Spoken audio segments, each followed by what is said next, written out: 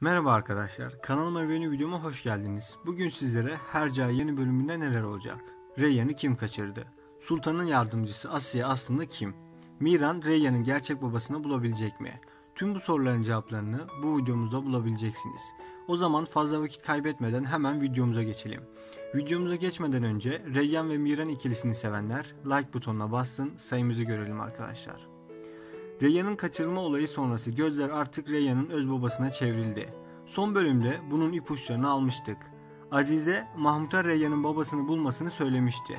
Mahmut yaptığı araştırmalar sonucu Reyyan'ın babasını bulacak. Fakat bunu hemen gün yüzüne çıkartmayacaktır. Türk dizilerinin geleneği böyle. Çünkü uzattıkça uzatmaları gerek. 2-3 bölüm sonra meydana çıkacak olan Reyyan'ın babasının gizli düşman olabileceği söylentiler arasında. Şahsen benim düşüncem de böyle. Bunu Azize veya Şadoğulları elbette anlamayacak. Reyyan'ı kaçıran bu kişi kızına ne oldu diye soracak. Reyyan ilk başta pek konuşmak istemese de olanları anlatacaktır. Zaten her şeyi bilen o kişi intikam için iyice gaza gelecektir. Yavaş yavaş Reyyan'ın hayatında yerini alacak bu kişiyi her zaman Reyyan'ın yanında gören Hazar ise bu kişiyle sürekli kavga edecektir. Miran bu adamdan şüphelenecek. Kendisini de bu adamı araştırmaya koyacak. Bulduğu sonuçlar sonrası şaşkına dönecektir. Çünkü ilk başta bu kişiyi Miran çözecek. Böyle bir durum karşısında gerçekleri sizce Reyyan'a anlatacak mı? Yorumlarınızı bekliyoruz. Ben ilk olarak bu durumu Hazar ile paylaşacağını düşünüyorum. Hazar olayı neden geç kavradığını kendisine soracak.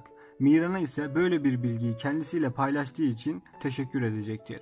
Yaptıkları ile bizleri şaşırtan Asiye ise herkesin beklemediği bir kişi çıkacaktır. Bizce Asiye, Azize'nin bir elemanı. Azize tarafından Aslan Bey konağına gönderilen Asiye, Sultan tarafından çok sevilmektedir. Fakat bu sevginin büyük bir düşmanlığa dönüşmesi yakındır. Reyyan'ın babasının ortaya çıkmasıyla Harun'un da artık daha rahat hareket edecektir. Yaren'den nefret eden Harun, Yaren'in yapacakları karşısında şok yaşayacaktır. Çünkü kendisinin oynadığı oyunlar onun yaptıkları karşısında bir hiç kalacaktır. Evet arkadaşlar bizi bir sonraki bölüm hakkındaki düşüncelerimiz bu şekildeydi. Eğer videomu beğendiyseniz like butonuna basmayı, yorumlar kısmınıza yorumunuzu bırakmayı ve daha fazla video için kanalıma abone olmayı unutmayın. Gelecek videolarda görüşmek üzere, hoşçakalın.